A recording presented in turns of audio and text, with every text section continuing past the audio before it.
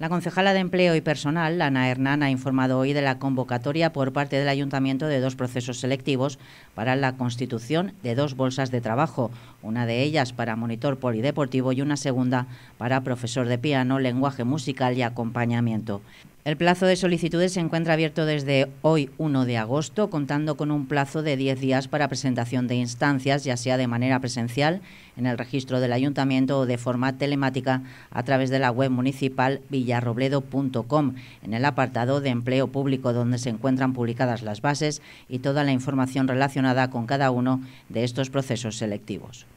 Invito a los ciudadanos que estén interesados a echar la solicitud, como siempre digo, o bien presencialmente en el registro del ayuntamiento o a través de la página del Ayuntamiento de Villarrobledo en empleo público. El plazo para, empezar a echar la solicitud comienza en el día de hoy y hay 10 días y para poder echar la instancia.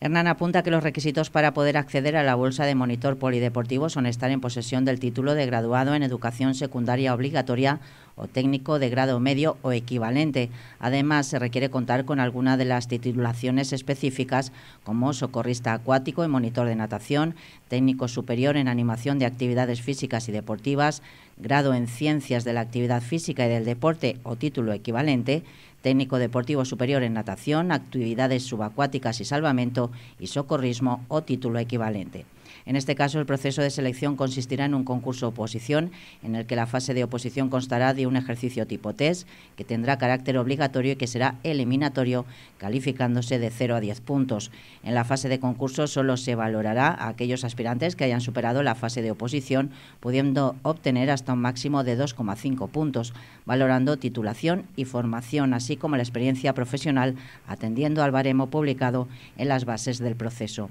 Por otro lado, para la bolsa de profesor de piano, los aspirantes deben estar en posesión del título de grado medio o grado superior de piano o título superior LOXE de música en dicha especialidad o leyes posteriores que lo igualen. El proceso selectivo a realizar será el de concurso y valoración de méritos consistente en la defensa del proyecto curricular presentado y posterior valoración de méritos académicos y profesionales. Hernán anima a todos los interesados a presentar las instancias, indicando que desde el ayuntamiento la intención es realizar los procesos selectivos en la mayor brevedad para poder tener constituidas las bolsas y contar con personal de cara al mes de septiembre. Hemos previsto desde el Ayuntamiento de Villarroledo que los procesos selectivos se hagan en la mayor brevedad posible, puesto que tenemos la intención que a partir de septiembre empezar a tirar de estas dos bolsas por lo que vuelvo a insistir e invitar a los ciudadanos que puedan estar interesados a que echen la estancia